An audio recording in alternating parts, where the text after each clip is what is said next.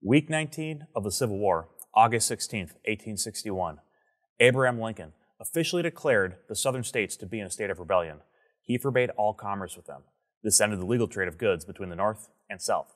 A strong black market would remain. On the 18th, the Confederate privateer Jefferson Davis met its end today.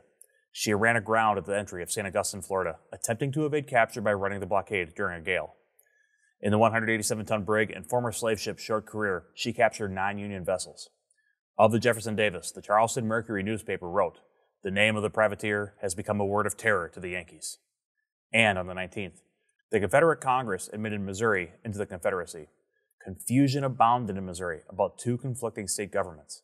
The same situation will occur in Kentucky later in the war. I'm Brendan Forrest, and this is Civil War.